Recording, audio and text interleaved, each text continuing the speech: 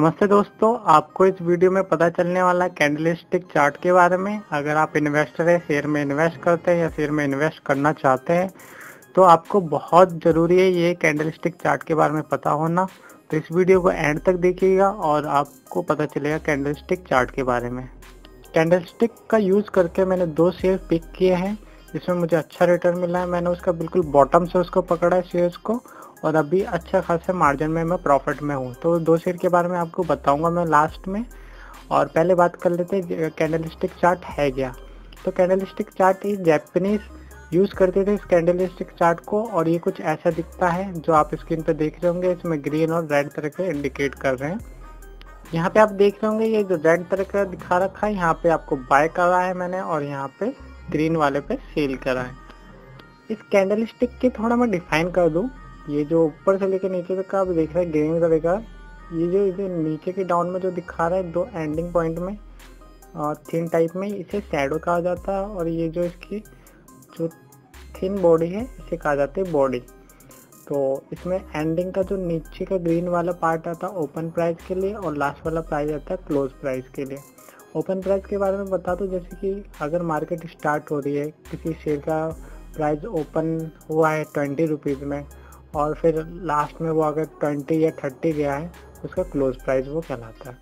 तो यहाँ से हमें पता चलता है कि वो ओपन प्राइस इतने में हुआ था, अगर वो ग्रीन में है तो वही यहाँ पे ऊपर जाके क्लोज प्राइस में इतना हुआ है।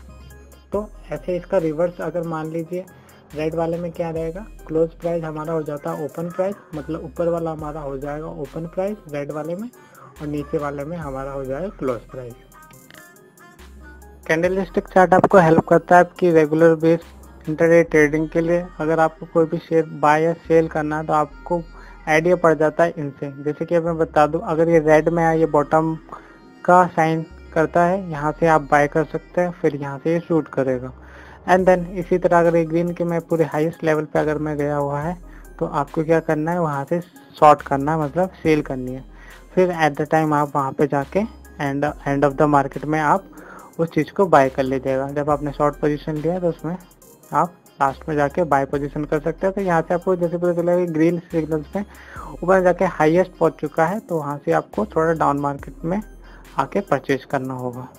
तो ये बिल्कुल सिंपल स्ट्रेटेजी है। इसमें आपको कुछ नहीं करना है बस आपको चार्ट देखना है, फिर उसकी फ्लक्चुएशन को देखना है, बस वो कैसे मूव कर रहा है। ऐसे करके आप बाय और सेल कर सकते हैं कैंडल के द्वारा। ये आपको काफ़ी हेल्प करेगा। और लास्ट में मैं आपको बताना चाहूँगा जो दो शेयर मैंने परचेज करे एल टी टी एस है आ, ये है लेसन टर्बो टेक्नोलॉजीज़ करके L N T technology service करके इसका नाम है और ये मैंने 1200 में परचेज करा था और ये अभी अच्छा खाता फिफ्टी टू सिक्सटी रुपीज़ मेरे को दे रहा है यहाँ पे एक शेयर पे।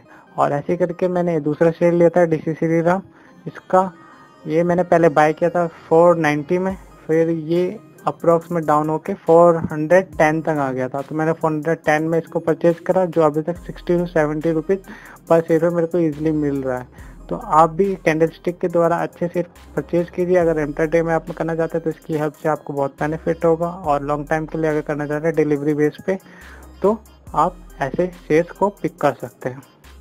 और अगर आपके कोई भी डाउट है कैंडल स्टिक से रिलेटेड मुझे नीचे कमेंट में बताइएगा। और आपको वीडियो पसंद आए तो इसे लाइक कीजिएगा और शेयर कीजिएगा उन लोगों के साथ में जिन लोगों को शेयर मार्केट या कैंडल के बारे में नहीं पता। इस वीडियो को देखने के लिए आप लोग का बहुत बहुत धन्यवाद और मेरे चैनल को सब्सक्राइब ज़रूर कीजिएगा। ऐसी लेटेस्ट वीडियो आपके लिए आती रहेगी और नोटिफिकेशन बेल को ज़रूर हिट कीजिएगा। जैसे मैं नई वीडियो डालूँ तो आपको उसकी नोटिफिकेशन मिल जाए।